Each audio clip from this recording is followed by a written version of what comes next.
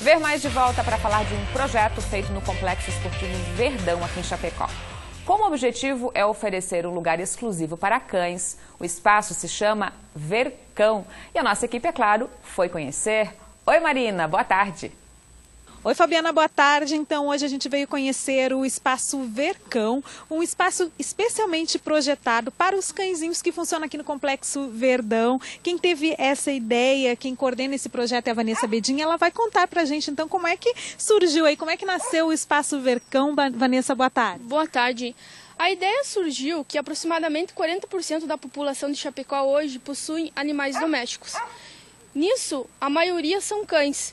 Então, em cima disso, a gente pensou em fazer um espaço adequado para a recreação canina, onde nós possuímos a água potável, os saquinhos para a coleta de, dos dejetos e nós temos uma regra de convivência também nesse espaço, onde cadelas no CIS, não, no CIL, não podem frequentar o espaço, cães que possuem qualquer doença infectiológica a gente pede também que não frequente o espaço e os brinquedos foram projetados especificamente para o lazer canino.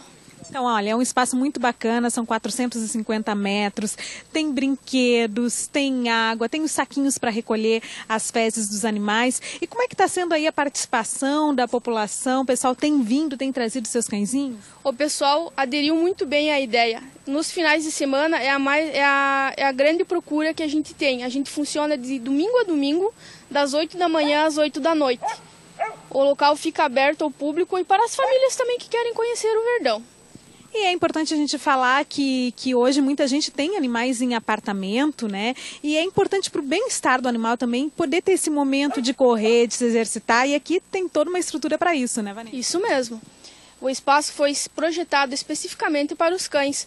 Os cães podem se divertir com os seus donos interagindo com outros cachorros ao mesmo tempo que também é muito importante para os animais. Então tá aí, é um espaço grande, bonito, especialmente projetado com equipamentos, com água fresca, os saquinhos para recolher as fezes, para manter sempre o local limpo em condições de higiene, né? Tem as regras de convivência que são importantes de serem observadas. Mais um espaço então para as famílias de Chapecó se divertirem e também para os animais de estimação gastarem energia, crescerem e conviverem com seus donos e com os outros animais de forma bastante saudável, tranquila e feliz. Então essas são as informações aqui do Espaço Vercão. Fabiana, se você não conhece, te convido a conhecer, que vale a pena. Um lugar muito bacana e volto com você aí no estúdio do Ver Mais.